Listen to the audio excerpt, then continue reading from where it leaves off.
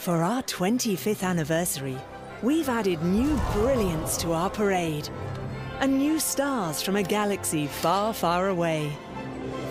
And yet, the one thing that shines most of all is the sparkle you'll see in their eyes.